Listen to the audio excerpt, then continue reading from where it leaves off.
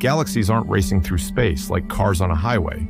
Space itself is increasing the separation between them. This leads to an extraordinary consequence, not because it's moving faster, but because there's more expanding space between you and it. This effect creates the Hubble-Lemaitre law, the cornerstone of observational cosmology. But we're still not answering the hook. Not yet. Instead, we're building the pieces needed so that by the time we reach the conclusion, the true answer will actually make sense. If space is expanding everywhere, why aren't you expanding? Why doesn't your room stretch? Why doesn't the solar system inflate like a balloon? The answer is simple but surprising. Local forces overpower expansion gravity, electromagnetism, the strong nuclear force. All of these are far stronger than the gentle stretching of space.